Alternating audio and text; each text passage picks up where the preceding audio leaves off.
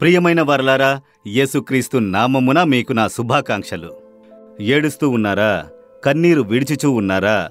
ఈ దినము నాకు ఒకటే భారముగా ఉన్నది దుఃఖముగా ఉన్నది. ఈ కార్యమును అనుకుంటేనే నాకు ఒకటే దుఃఖముగా వచ్చుచున్నది. ఎందుకీ కార్యము జరగనంటున్నది? ఎందుకీ కార్యమునందు మార్పుని చూడలేకపోతున్నాను? అని ఏడ్చుకుంటూ కన్నీరు విడిచిచూ ఉన్నారా?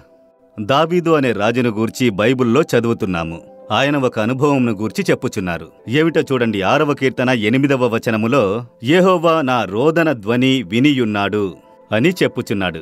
ఏహోవా నా రోదన ధ్వని విని ఉన్నాడు ఏంటండి ఒక గొప్ప దేశమునకు రాజు అంటున్నారు? ఆయన కూడా ఏడ్చారా అంటే ఆయన ఏడ్చారట ధ్వని చేసి ఏడ్చారట. ఆయన ఏడ్చినది అనేక సందర్భాల్లో పరిశుద్ధ గ్రంథంలో రాయబడి ఉంది. రాజైనను మనవలే సామాన్య మనుషుడే కదా. కనుక బలహీనుడు అయ్యేంత వరకు ఏడ్చారట. ఆ విధముగా ఆయన ఏడ్చి ఉన్నాడు. రోదన చేసి ఏడ్చారు.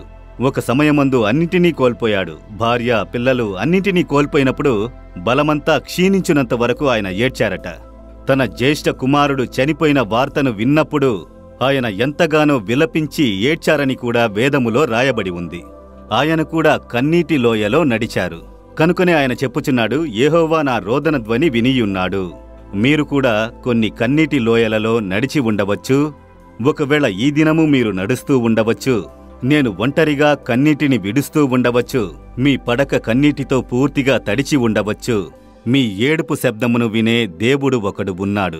దానికి ఆయన జవాబును ఇచ్చును. నీ కన్నీటికి జవాబును ఇచ్చును. మీ ఏడుపును మార్చునట్లు అద్భుతమును చేయును. భయపడకండి. ప్రభువా నా ఏడుపు యొక్క శబ్దమును మీరు విన్నందుకు స్తోత్రము అని చెప్పండి. అందులో అద్భుతము జరుగును.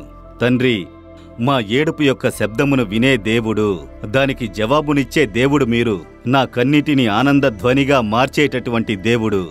ఈ పిల్లల యొక్క కన్నీటిని తుడుచునట్లు వారి కన్నీటిని ఆనంద ధ్వనిగా మార్చునట్లు వారి ఏడుపు శబ్దమును విని అద్భుతములు చేసి ఆనందింపజేయుము. ఈ దినమే అద్భుతములు చూడనిమ్ము. ఈ దినముతో ఆ ఏడుపుకి ఒక ముగింపు రావాలి. యేసుక్రీస్తు నామమున ప్రార్థించుకుంటున్నాను తండ్రి. Amen amen.